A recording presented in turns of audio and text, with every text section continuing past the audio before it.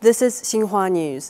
The Philippine side should stop misleading the international community and using the South China Sea issue to instigate disputes.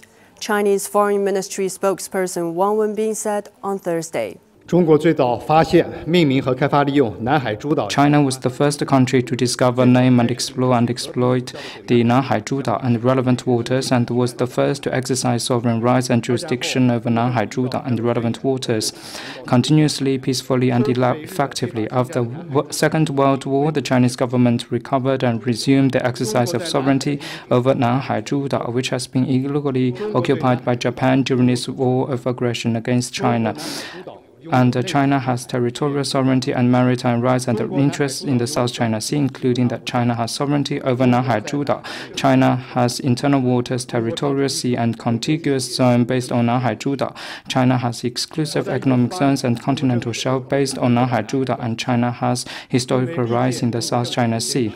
As early as 1948, the Chinese government officially released the dotted line, which has been upheld by successive Chinese government. It has never been questioned by many country for a long time. China has never claimed that the whole of the South China Sea belongs to China. The Philippine side accuses China of making all waters inside the dotted line as territory. is not in line with the fact and is deliberate distortion of China's position. The Philippine side should stop misleading the international community using the South China Sea issue to instigate disputes.